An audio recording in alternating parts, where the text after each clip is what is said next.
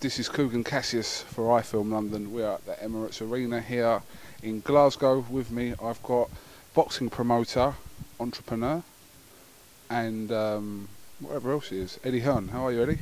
You're like a lovesick puppy when you explain all that. You go, boxing promoter and entrepreneur. You've missed me, haven't you, Coogie Bear? It's been a long time. Swanning around Who- in Las Vegas. Let's just have it straight. Who's missed who more? I've been in Las Vegas. You've been here. So you've had a press conference in the week for David Haye. I've been at a Mayweather extravaganza. Who's missed who more? Do you reckon? I don't know. I, I'd like to feel it was mutual. You know, it was like doing an interview with James Helder. Nothing against James, lovely fella, but it was like it was like when you put a t-shirt on back to front. Do you know what I mean? The neck's up here. It just didn't quite feel right. It was like you could get away with it, but it just it didn't feel right. You know. Do you think you and James Helder are capable of doing an interview without my name being mentioned? Oh, well, you're so big time, Coog, aren't you? I mean, you know, but it's difficult with James because he's, you know, he's got banter, but you know, We'll leave, we'll leave that one now. This is the first event, the first sporting event and boxing event that's to be held at this Emirates Arena. Just first time I've been here, and it's uh, it's quite impressive. It's quite big, um, so when it's full up, it'll be quite some atmosphere here. yeah, you don't know a few extra thousand that want to come, do you? Well, how many have you sold? What have you been telling lies? Haven't you really sold enough tickets? We've only, we've only done twelve, though. We've done about five and a half thousand. We'll have about, uh, we'll have over six in, which is fantastic. But you know, we, you can get up to ten here if you want. We're not fully set up for that, but it's going to be rocking in here on Saturday night and beautiful arena, as you've seen. Um, took Sky to the SECC, which we do the darts at. It's a fantastic arena as well, and then came here and just, you know, it's it's a winner.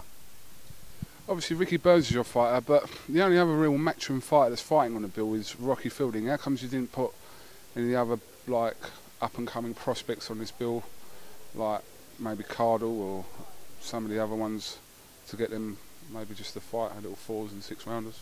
Well, they're fighting non-stop, and actually, the way that the schedule worked out, you got Callum Smith's going to be boxing on a Froch card in his first eight-rounder. Stalker um, was in Argentina, so he couldn't train. He was at the Martin Murray fight. Martin Ward is fighting on the Froch bill. Um, Callum Smith, oh, done Smith. Yafai is out with an injury, and Cardle's cut.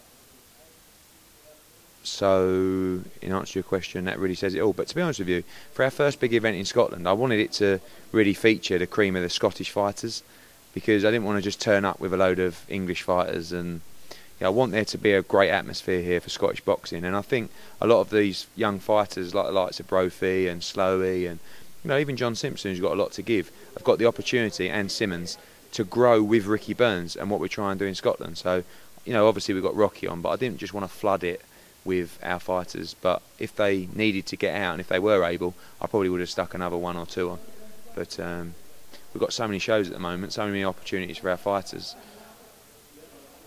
What are you going to do? What are you going to do? I feel like a bit of a politician sometimes. You know what I mean? Politician, stroke car salesman. Yeah, Fast car ready. Already.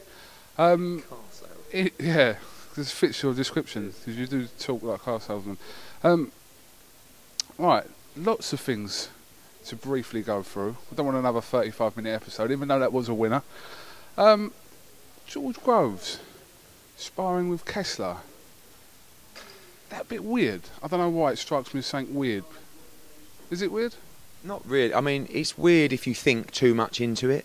Like, the bottom line is, is Kessler sparring for Groves will improve him as a fighter, and I think that's what Adam Booth cares about. Really, it's not about oh, do you think there'll be a couple of people that think that's weird and not the right thing to do?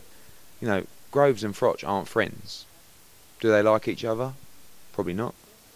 Do you know what I mean? So, I can understand people going, oh, that's a bit weird, but really, if you're Groves, you're probably thinking, wow, that's great experience for me, great preparation for my fight. He's not going to be sparring Froch. So, you know, can understand. Would Ke- would Kessler not think to himself, perhaps that if he's sparring, that he'll come back because you're part of the same stable and tell tales? Yeah, I, I think we're at that level where that's not really going to happen. Like I can't see Adam Booth coming back and saying, "You'll never guess what." Uh, after 45 seconds of the first round, he moved to his left, then he moved to his right, and then he did an Ali shuffle. I think he's working on that for the fight. You know, If George drops Kessler though in sparring, I'm sure you'll hear about that, wouldn't you? he dropped him last night. Did he really? no, no. Um, do you know what? It, there's kind of like a professional code in sparring, where you don't, you know, it does get out, but generally the real pros in the game don't really talk about it. If someone and people can get knocked down at any time. People, you know, it happens all the time in sparring. But oh, you'll never guess what? So and so got knocked down. He's like, ooh, you know, it just happens. Someone gets KO'd in sparring. That's that's another another thing. But no, I think everyone's too professional to start coming back telling stories. It's it's purely done, and it's not something I was involved with. It's purely done to benefit George Groves as a fighter. Okay. Um, I know you've done the David Haye press conference over there, but I wasn't there. I was obviously- in Vegas, wasn't I? So, uh. So, uh, just a quick note on that. Uh, yeah, I mean, you told me this, and it was like I was genuinely gutted. You know, I was in Vegas, but I was gutted at the same time that I was going to be missing like your announcement of your link up with Haymaker. So, you know, it must be great that you're responsible or have part hand in bringing David Haye back to Sky Sports. Yeah, it's a, it's a major coup. You know, I've described it as, as a game changer, if you like. Getting Haye back on Sky, delivering for our broadcaster, and that was one of the few signings that we've made that you didn't know anything about because I tweeted about it and you came straight back and said, "Who is it? Who is it? Tell me, tell me."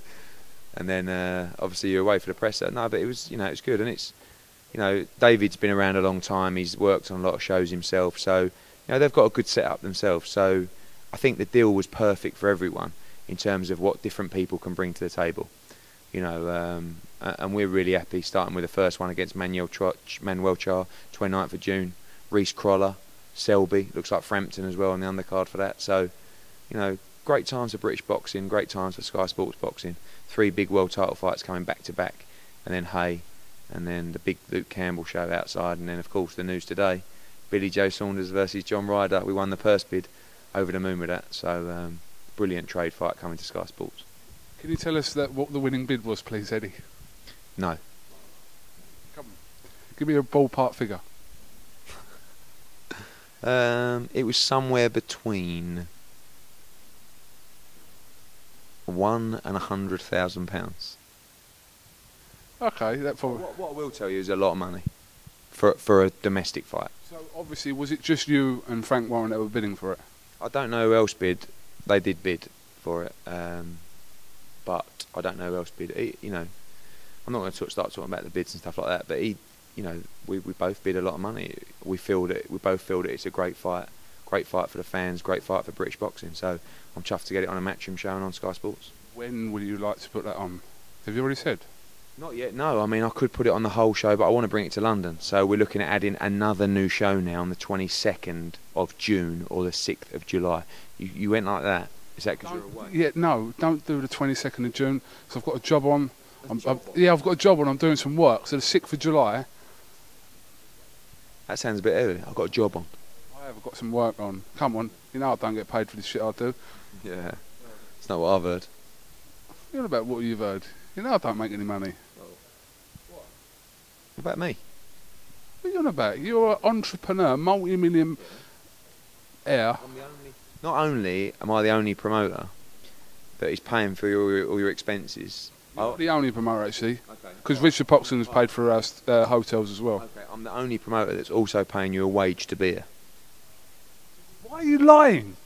Why is that a lie? You're paying me a wage. What a load of bollocks. What did you pay me? 500 quid a week. What? 500 quid a week. Why are you li- Why is that? s- Why are you saying that? I why You you don't uh, you don't pay me fuck all. You pay for stuff like hotels and that. Listen, I I love you for it. I genuinely do. Thank you. Look, I understand what you're trying to do. Keep it on the down low from the tax man. It's not a problem. I shouldn't have mentioned it. We definitely don't pay Kugan Cassius a wage at all. No. That's wrong, really, because if you're paying me five hundred pound and tomorrow I'm going to go and do a Frank Warren press conference, how does that work then, big boy? Well, they don't pay you either. Why do we what do we get paid for? We just we do it for the love of the sport. So all these promoters not paying you. I'm the only one that pays you a wage. You don't. told me, oh, they're all they're all slipping me this, slipping me that. So I come up to the, you know, come up trumps, started slipping you the, the 500 a week. Oh, I'll tell you what then, you've only paid me 400 quid, so what about now on camera, you give me the other 100 that you owe me for this week? I gave you I gave you a grand earlier for the last two events. This is bollocks. By the way, iFilm London listeners, this is going to, Box Rec and Eastside Box are going to have a field day with this. He doesn't pay me. He doesn't pay me. You knob, you don't pay Alright. One day we're going to crack it. Um, Kell Brook, can you tell us any news about Kell Brook or not? His name is Ezekiel Brook. He lives in Sheffield. He's 26, about to turn 20. Don't talk bollocks because I'll just tell people what you told me in the motor. Okay. Um, we're trying to make the Carson Jones fight for, for Hull, July the 13th. Um, I think it's the ideal fight for Kell to come back in in a 10 round fight. Um, a little bit of unfinished business there. I want to sharpen his tools up. He's been out since October. And I don't just want to give him a bowl over, I want to test him. And then, if you want me to be really honest, I'm trying to make the Julio Diaz fight for September at Sheffield Arena. This is what I don't understand. You're trying to make Julio Diaz and Kell Brook. You slated Amir Khan for fighting. You did. You slated him I didn't slate him. for taking the Julio Diaz fight. listen. And now you're matching him up with Kell Brook. How does that make any sense? This is where idiots like you, right, and like Khan fans start saying, I slate Khan. I don't slate Khan.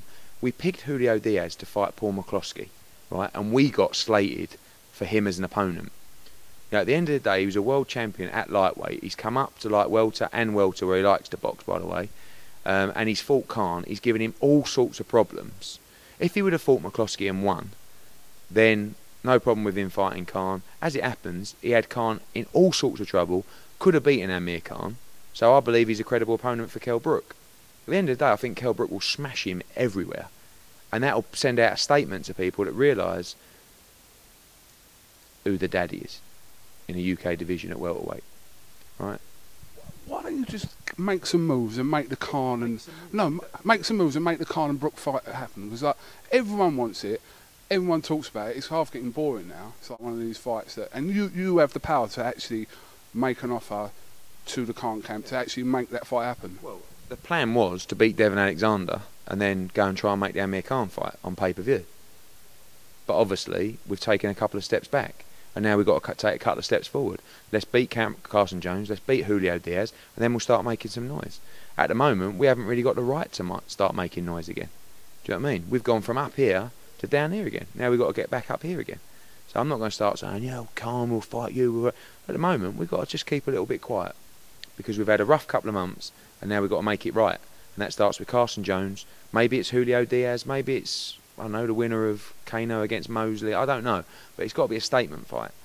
Um, and, you know, like I said, we've got some building to do. But it's a challenge and you've got to be excited about that.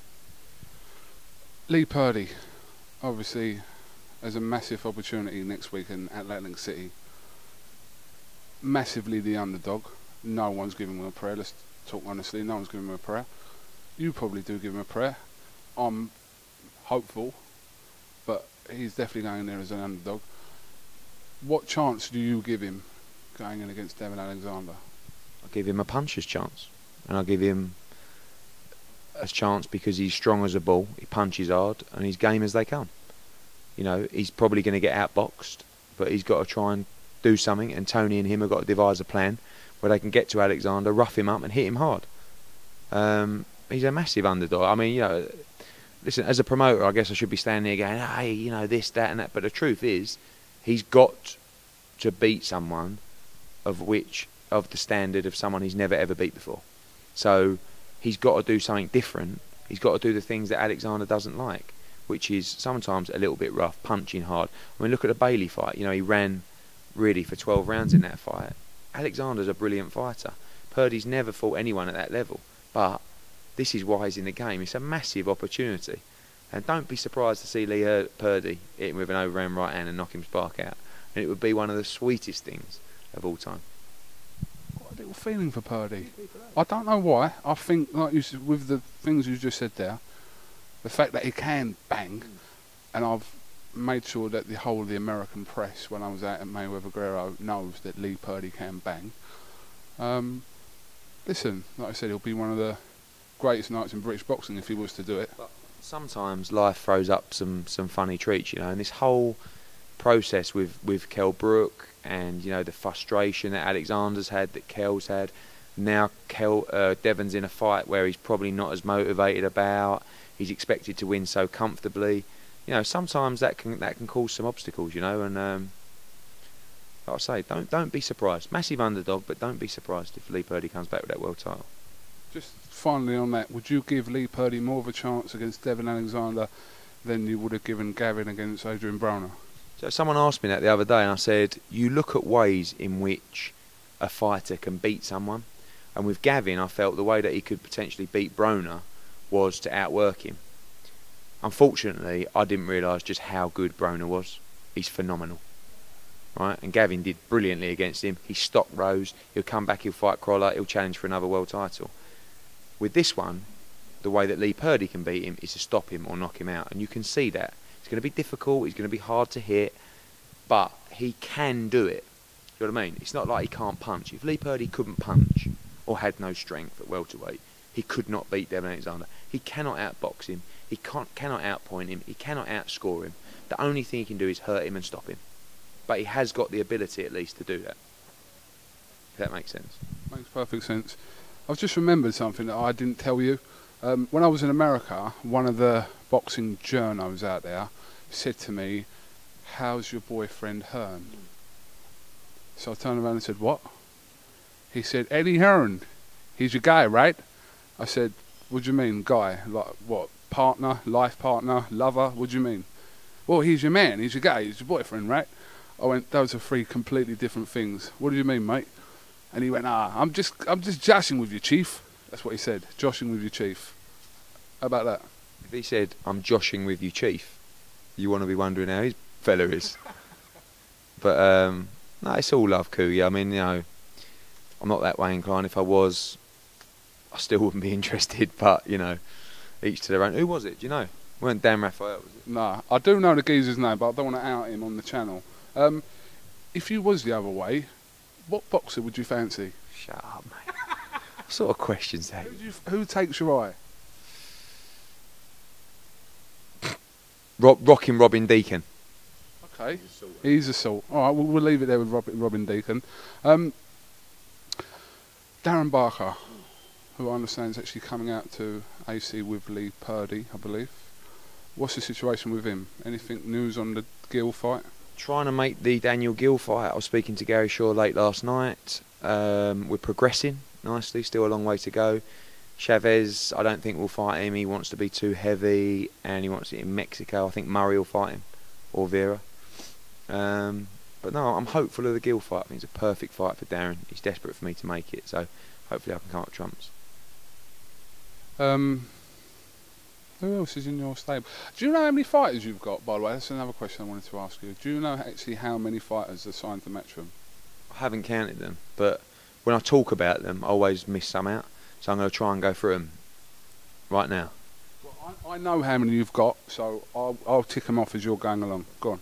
Carl Froch, Ricky Burns, David Haye, Gavin Rees, Carl Frampton, Tony Bellew, Lee Selby, John Ryder, Paul McCloskey, Lee Purdy, Rocky Fielding, Scott Cardle, Tom Stalker, Martin Ward, Callum Smith, Ryan Aston, Chris Evangelou, Wadi Camacho, oh, Darren Barker, sorry Darren, um, George Groves, sorry Georgie.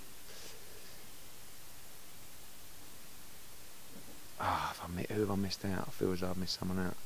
Do you know? And who was that? Someone will tweet me later saying you missed out someone. Well, you, you haven't missed out heavyweight, obviously. Yeah. You haven't missed out a light heavyweight, because you've only got one.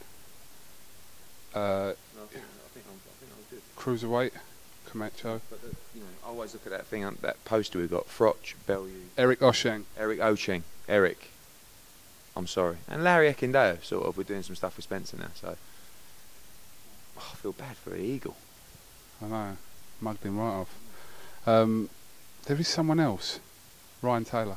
Ryan Taylor. Got a good little stable, haven't I? Not bad for about a year. Imagine what it'll be like in three years. What are you going to sign? There's no, there's no one else out there, is there? It's not about who we're going to sign in future. It's about the opportunities that we're giving these young fighters to progress and what they'll turn into. Do you know, like Golden Boy starting to do here? Why don't you? Couldn't you do that over there? Take Matchroom over to America if you was to. Obviously, you've only you're a novice, aren't you? You've only been going two years, near novice, aren't you? Well, compared to all like the big, compared to the big promoters in the game, like Frank Maloney and Frank Warren, no, compared to them, you've been doing it a, a small amount of time. They've been doing it 30 odd years. You've been doing it two years. Yeah, 30 odd years. So when you were a bit bigger, could you do that? 30. Uh, could I do that? Yeah, when I get bigger. When I, you know, I'm just a novice. Why are you talking like that? Because you've only been doing it two years. I know you are where you are. You're sitting pretty at the top of the sky tree, woo, right? But you've only been doing it two years. So imagine where you're going to be in like 10 years. That's what I'm trying to say to you.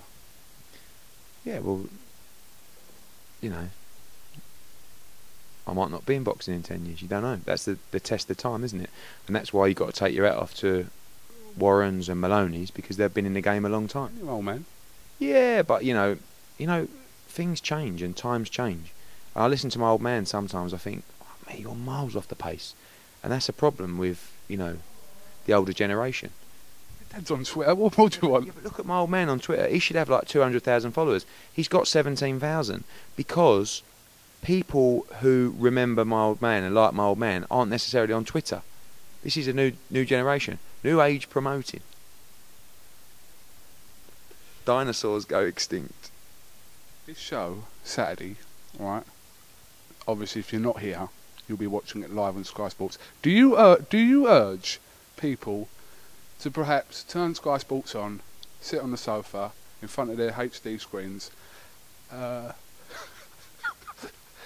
maybe get some popcorn in, maybe get some ice cream in, maybe some drinking, sit down and relax and watch the fight? You're trying to get me to do one of my boxing impressions that I do.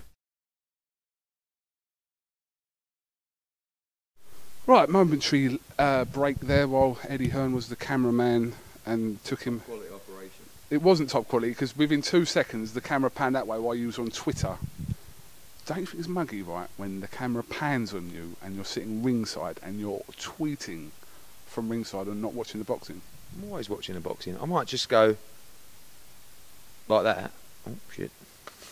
But I'm always watching the boxing. But I like, you know, Twitter. Nearly at seventy thousand now, Cougs. It's mental. No other promoter's anywhere near that. Maybe I'm the top promoter. What do you think? 'Cause I asked you that question earlier. What, in the world? Mm, start with UK. Well, I'd say it was that of you and Warren, wouldn't it? As I said to you earlier on, listen, as I said to you earlier on, right, you can't come into this sport as a novice, do your little work for two years, sign up whatever fighters, and ooh, I'm the top promoter. There's promoters in this country that have been doing this longer than you, so Well, that doesn't matter. You know what? To be honest with you, I just want to set the record straight. I really don't give a monkeys if I'm top promoter or not. But one thing I will say about that is that is bollocks. It doesn't matter how long you've been in the game. If you're the top promoter at the moment, you're the top promoter at the moment. So if you've been boxing for 10 years and all of a sudden I come through the ranks and knock you spark out, I'm the best. Not, oh, hang on a minute, uh, while you're on the floor, hang on, I've been doing this for 10 years. Uh, all right. Then last year, who put on the biggest show in the country? what? Through the British Boxing Board of Control? No, who put the biggest show in the country on that was here? The most talked about and the biggest show that was on here. Carl Froch against Lucian Bute? Really, not Haye and Chisora? Yeah, no, that was a big fight. No, listen, again, I couldn't give a monkeys. All I'm saying is, is I disagree with your comment about just because you haven't been doing it very long, don't mean you can be, you can't be number one.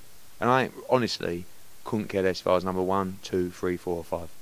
But one would be nice, wouldn't it? I would say that you and Frank Warren are the top two promoters in the country. So, who's first, who's second? Maybe I'll fence it. I don't care, mate. I don't honestly. I do fucking care. Deep down, you know I don't care. Like some people might think it's me, so I don't care. I don't care. Got work to do, mate. Not worry about myself. It's not the Eddie Hearn show. Really? Really? Oh, I know it's good. No, I know it. I know it. I listen. I do know. All jokes aside, I do I know. might, I might come across as a little bit of a flash Harry at times, but I really ain't. I don't give a monkeys. I want to see, I want to see my fighters do well. My mates, really. You love playing that mate card, didn't you? I mean, yes. I mean, they're my fighters, but you know, they're also my friends. They are my fighters, but they're also my friends. They are, though. I haven't really got any other mates, to be honest with you. Would you class me? Because I'm not a work colleague, because I don't work for you. I'm not an associate. I could be an. I could fall into the associate bracket, but where would you class me? Because I don't really think you booked me as much as when we first met, even though you invited me round your house to film you. Are you, are you trying to say, are you my friend? Is that what you're asking me? In a word, yes. I, I suppose you are, but like I do class that friend thing as like you know when someone phones you, and you go, and you see who it is. It's like I think that response is quite key as to what you really think of that person. And I have to say, most of the time it goes like this: "Oh fuck off, Kugan. What do you want?" Do you know what I mean? So, whilst I do like you, you can be a pain in the arse at times. But why am I a pain in the ass? I don't do anything wrong. I don't bug you. I don't ask you for information. It's like this. When like I've got a million things going on and calls coming left, right, and centre, and then it's Kugan, and I go, "Hello, right, mate. Uh, what time's the, the flight tomorrow?" It's like Kugan. I'm in the middle of something at the moment, mate. All right. Why you got the hump? Because you're a little bit of a, you know, an old woman as well. You start thinking that people got the hump with you, and then someone will tweet you something, and you'll go to me, "Oh, did you see what they tweeted me? Oh, it's really hurt my feelings." You do get like that, and then you start. You notice when you reply to people's tweets, you start getting all like, "Oh, what did you say that for?" No, that's not true. Actually, fucking leave them. Let people. pe- You do understand that on Twitter, people want a response. You know what I mean? You respond to people. I know you do.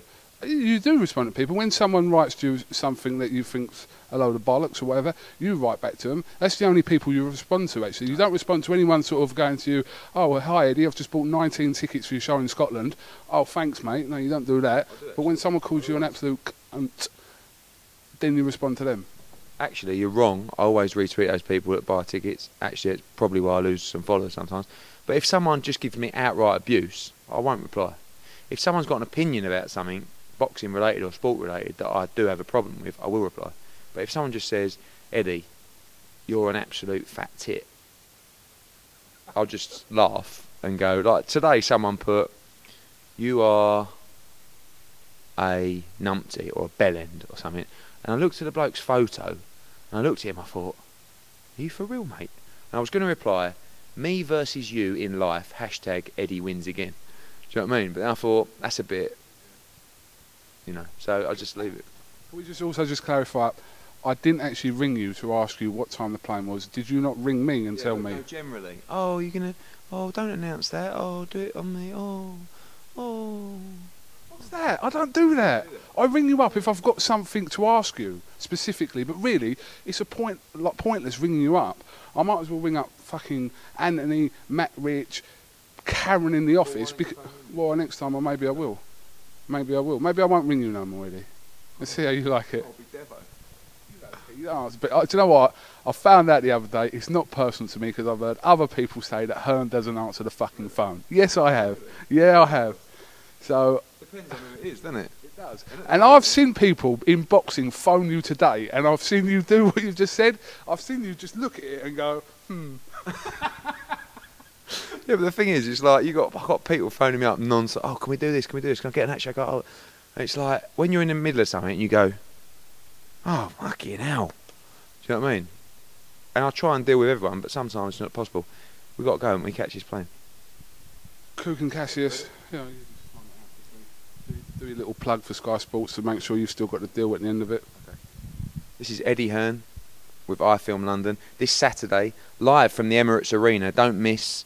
Starting off 8 p.m. Stephen Simmons against Michael Sweeney for the Celtic Cruiserweight title. John Simpson against Choi in one of the most hotly anticipated trade fights of the year. And Ricky Burns, one of Britain's three world champions and the one world champion from Scotland, fighting number one contender Jose Gonzalez here Starting off a big three weeks for Matchroom. Lee Purdy against Devon Alexander live from Atlantic City. Also Matisse uh, against Peterson on the bill. And a week after that, Froch v Kessler, biggest fight of the decade. Moving to June, David Haye, and somehow we got a feeling fit in Ryder against Saunders as well. Luke Campbell making his debut. Kell Brook back in action. Big open air show in July. British boxing is hot to trot. And partly, or one of the big reasons, I have to say, is me. Thank you. Kugan Cassius Fry from London. Thank you very much.